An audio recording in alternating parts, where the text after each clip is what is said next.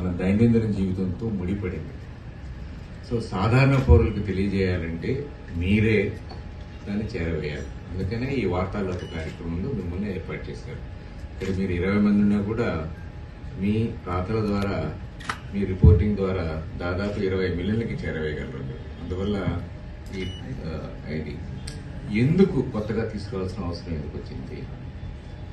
ఈ చట్టాలన్నీ కూడా బ్రిటిష్ వాళ్ళు మనల్ని కంట్రోల్ చేయడానికి పాలకులమైనటువంటి మనల్ని కంట్రోల్ చేయడానికి నూట యాభై సంవత్సరాల క్రితం ఇచ్చారు.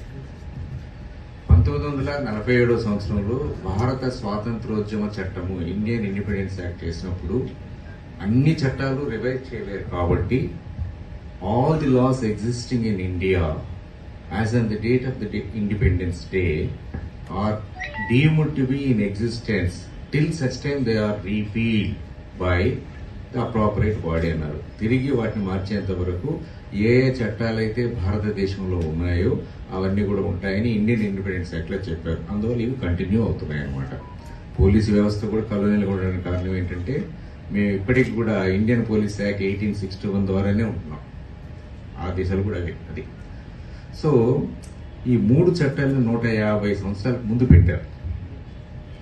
అవి ఎందుకు పెట్టారు? బానిసలమైనటువంటి మనల్ని పాలకులు అణచివేయడానికి చేశారు. అందువల్ల అది నేరస్తులకు అనుకూలంగా ఎవరు నేరస్తులు? మన పాలకులు నేరస్తులు.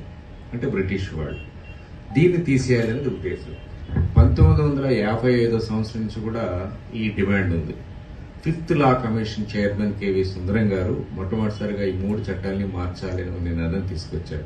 అంటే అనేక మంది చెప్తూ కూడా వచ్చారు.